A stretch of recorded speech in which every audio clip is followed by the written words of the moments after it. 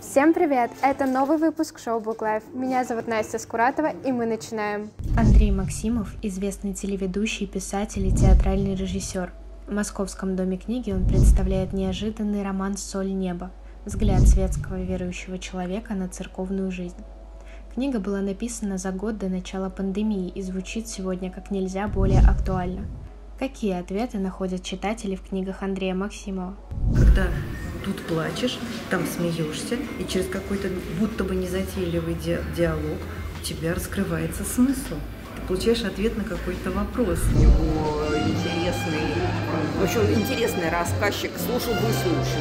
Ну, прямым потоком точно всегда, как говорил Михаил Николаевич Задорнов, в темечко капает. И мне он интересен вот во всех его ракурсах. «Соль неба» – роман-притча. Его герои – два священника с разными взглядами на жизнь. Прежде чем попасть на полки книжных магазинов, роман пережил отказ шести редакций. Самое время пообщаться с автором. Андрей Маркович, я знаю, что у книги «Соль неба» непростая судьба. Она пережила отказ шести редакций. Так почему же все-таки роман не решались напечатать? Я не могу вам на этот вопрос ответить, потому что мне только в одном издательстве сказали, что ну, они считают, что я слишком вольно пишу про, э, про церковь, и они не хотят это печатать. Во всех остальных мне говорили, это не наша тема, или просто мне это отказывают. Причем интересно было, что это те издательства, э, которые печатали меня.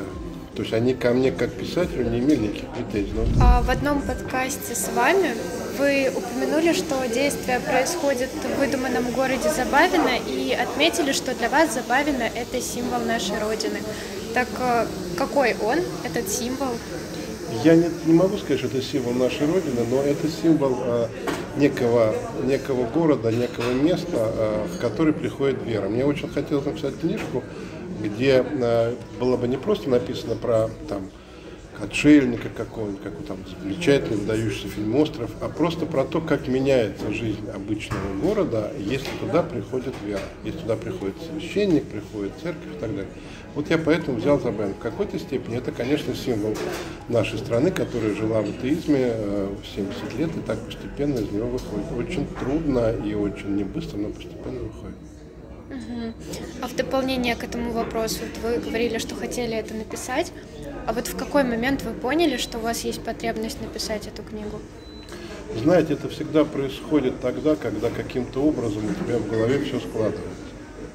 Я, например, прежде чем написать книжку, я пришел э, к руководителю канала Сергею Шумакову предложить, предложить такой сценарий фильма. Я думаю, что можно сделать фильм. И он мне дал несколько советов написания, которые мне показались очень важными и которые меня подтолкнули к тому, чтобы делать дальше. Это был такой важный для меня. Так, вот вы еще часто подчеркиваете, что ваш роман – это не документальное повествование. А вот герои и священники, есть у них какой-то реальный прототип? Нет, никакого реального прототипа нет. Это притча.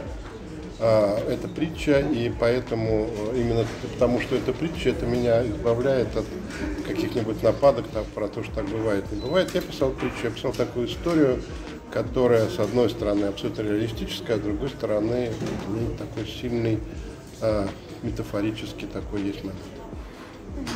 И в заключение мне бы хотелось вас спросить, вот тема, которую вы затрагиваете, к ней рано или поздно приходят практически все. И ваши герои дают несколько определений слову «вера». А как определить его вы сами? А Для меня верующий человек определяется несколькими характеристиками. На- Например, верующий человек понимает, что земной жизнь не заканчивается. А, Но главное для меня две. Это понимание того, что а, ты не хозяин своей судьбы, что есть Господь, который тобой руководит, и это прекрасная сила, это прекрасная свобода. В зависимости от Бога это самая большая свобода, с моей точки зрения. И ты э, должен улавливать это все, если хочешь хорошо жить, должен улавливать эти сигналы. Это первое. И второе, с моей точки зрения, вера в Бога означает любовь к людям. Это одно и то же. То есть, если ты веришь в Бога, ты не можешь ненавидеть людей. На этом наш выпуск подошел к концу. С вами была Настя. До скорых встреч!